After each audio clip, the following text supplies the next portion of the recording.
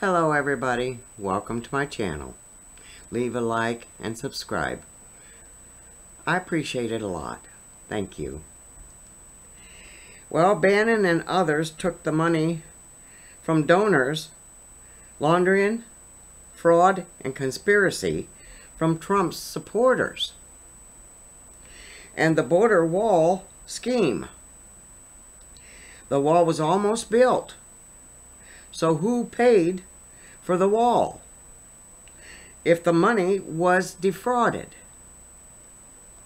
From supporters. Did Trump use his own money maybe to cover up then? To replace the money that was defrauded from the supporters? Well, that's a good question. I don't know. Trump helped Bannon out of another fraud case. He can't help him now. No. Bannon will see prison time if guilty. And he should. Christina Bobb is also in hot water. I think uh, that is one of Trump's lawyers. Or something or other. Now for lying about all the documents was given up. She lied about that. Because they wasn't all given up. Lordy have mercy. So where are the documents? And they found empty folders that were labeled security. So somebody took the documents all the envelopes that were posted as security for the United States, I take it. So where are the documents now? Who has them? Who took them? Oh my goodness sakes. Oh my gosh. And then the lawyers. It seems like all of Trump's lawyers now are going to be investigated also. Mm-mm-mm-mm-mm. And they could be facing charges also. The Constitution needs changing. Regarding presidential eligibility, I totally agree. Absolutely, totally agree. My goodness. What has Trump got himself into now? One thing after another. And I, I can't believe half of it, but who knows? If they're guilty, like I always say, somebody's got to pay. They will. I mean, if they find if they find those lost documents that were taken out of those envelopes, and if it has anything to do with America's security, boy, oh boy, they're going to be going bye-bye, aren't they? Oh, yes. A 20-year-old, and you probably already read this, but oh my goodness, I can't believe what happened to him when he got stung by 20,000 bees. The 20-year-old man nearly died last week after he was swarmed by African killer bees. He was stung a thousand times while on a ladder trimming branches from trees. Austin Bellamy is his name, was trimming a lemon tree in Ripley, Ohio, when he cut into a nest of African killer bees. Can't you imagine? Oh my goodness. Not only stung about 20 times, but swallowed 30 of those bees.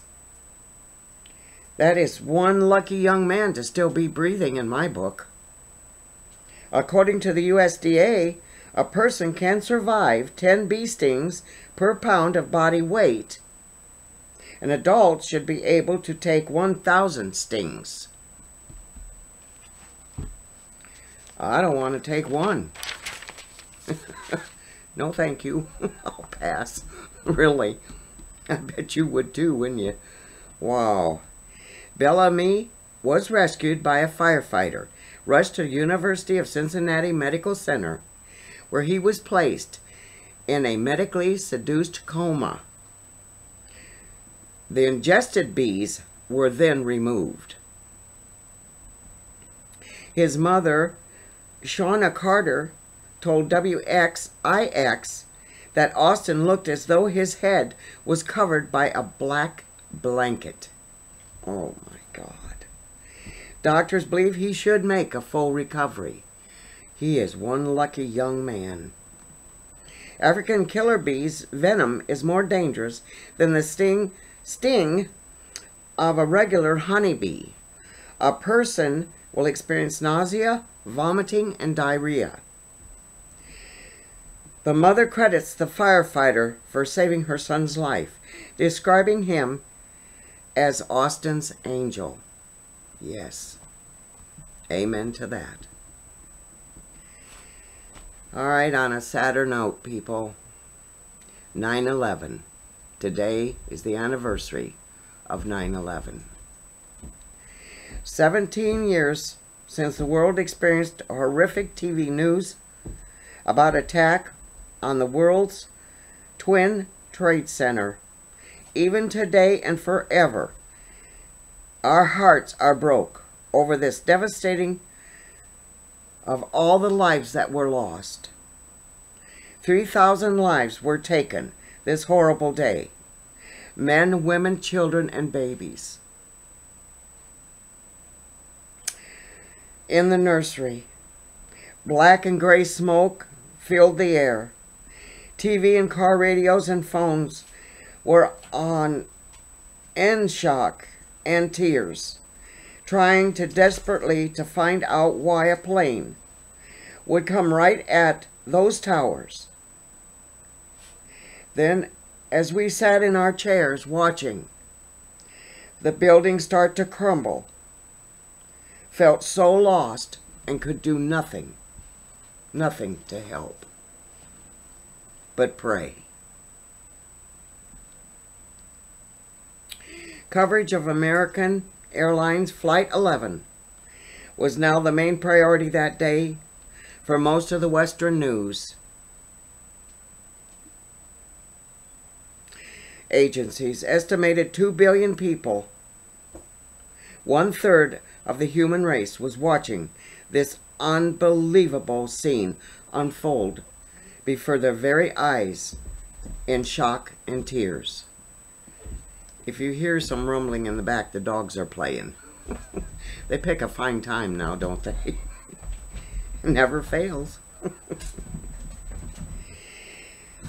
oh my goodness. At Rector Street and Broadway, a photographer leaned out of his window with a medium format camera and caught the sight of the second plane impact. People were falling from the towers. Burning to death is the most painful death. Some chose to jump to their deaths. We will never forget this tragedy. Never will the young growing up now and their children and their children and beyond this was so heart wrenching to watch and wonder why this came to be. Today, our hearts are with those that lost their loved ones that day, that shook our very souls.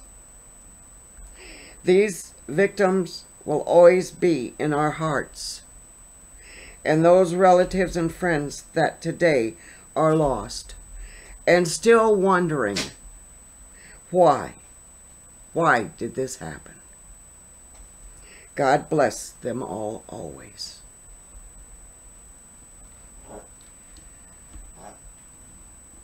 There are no words. We've all sat and wondered the same thing. What were those, or the country that sent those airplanes over? And the airplane pilots what did that country give those airplane pilots to do this tragedy? Because they were going to, they knew they were going to die. Did they offer the families financial setups? If these three pilots would kill themselves, who knows? Nobody knows. Nobody knows. God be with us all. That is it for now. My four-leggers are getting hungry, and I might do another video later on.